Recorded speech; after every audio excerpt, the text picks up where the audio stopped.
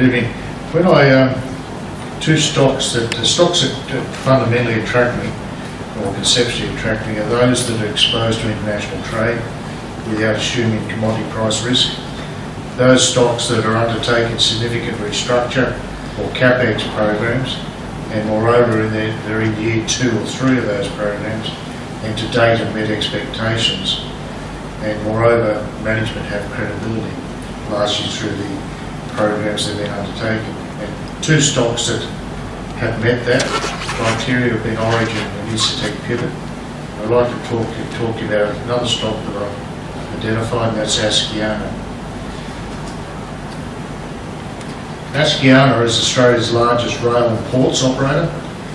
Basically, 50% of its earnings come from containerised, containerised businesses, which are driven by Australian economic growth and also are a beneficiary of the de- deindustrialisation of Australia as product is imported and then shipped across Australia.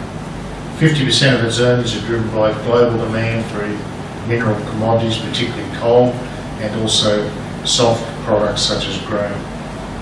So Asciano was spun off from Toll in 2007. Initially had some problems in the market because it assumed uh, too much debt. They had significant equity raises throughout 2009, and then they had a management turn, turnover where they appointed John Mullins CEO in February 2011.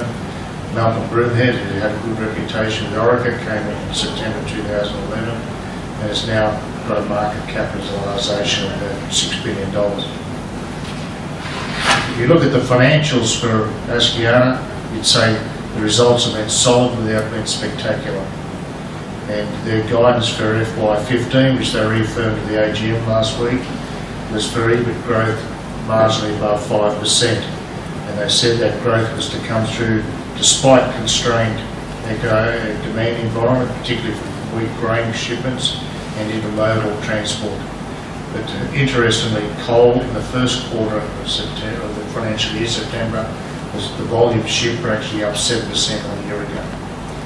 And the share prices, uh, notwithstanding these relatively benign financial results, the share price has outperformed the last two years.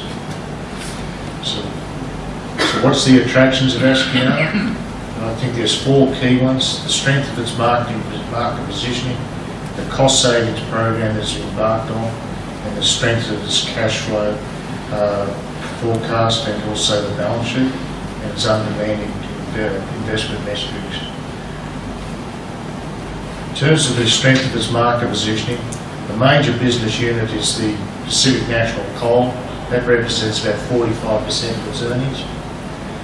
It's got a market share of about 70% in New South Wales, 30% in Queensland. It's been gaining share in Queensland since Queensland Rail was floated.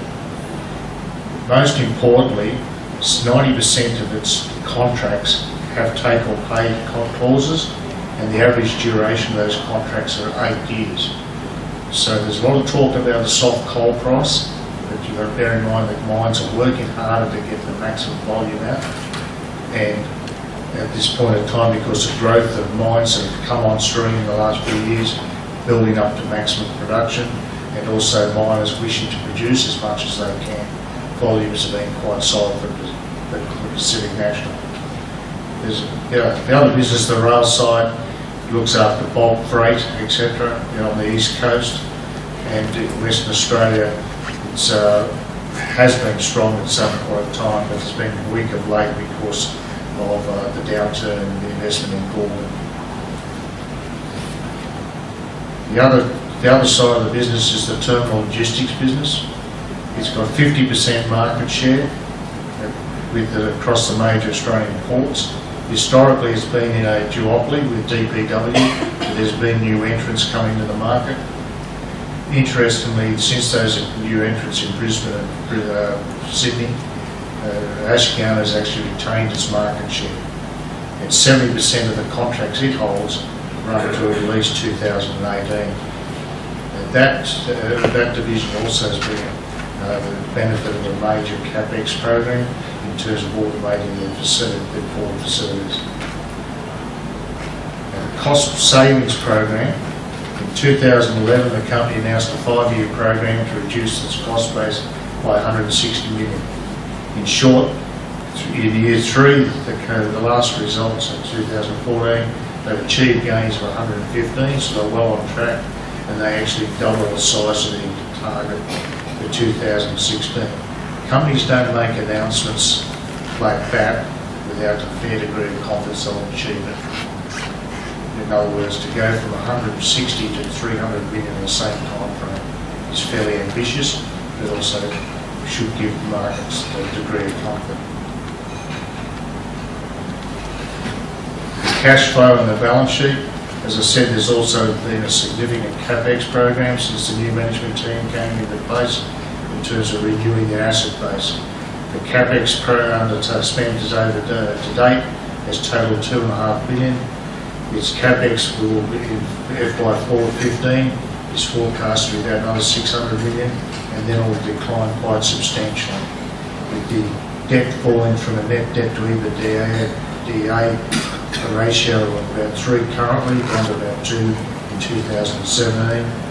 Interestingly, the S and P just upgraded their uh, rating of Asciano, and uh, interesting to everyone would be they, the dividend payout ratio, which had been constrained, because they undertook this capex and uh, program, the company itself has said that they will expand out to at least 50% by 2016. Uh, you on top of that, there is potential for Asciano to sell down their towage interest and uh, to a strategic partner, uh, that- would certainly be advantageous to allow them to do strategic acquisitions. But they did say they won't do those until the balance sheet objectives have been achieved. In terms of the investment metrics, going forward, you can see the dividend yield creeping up because the payout ratio will go up. PE ratio 2017, 16 is, I'd say, relatively benign, no, relatively attractive. The costs down haven't been factored, uh, may surprise the market, they may be able to hold more than, more than they give back to the market. And as I say, they've got very strong exposure to grain and grain, coal, etc. And management have delivered, and the management team are very well regarded in the, in the investment community. So it's one stop I think you should look at. Uh, And that'll just turn over